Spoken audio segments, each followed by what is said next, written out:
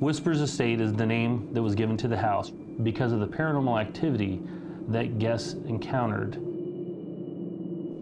I have slept in the front parlor and had the chandelier smacked violently. I have heard my name being called in the middle of the night.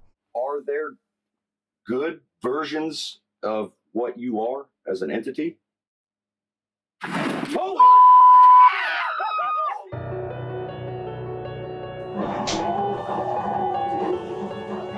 I turned around and walked back out the door, and as I did, I looked to the right, and I seen a full apparition. You slowly become desensitized to certain things while working in this field for a long time.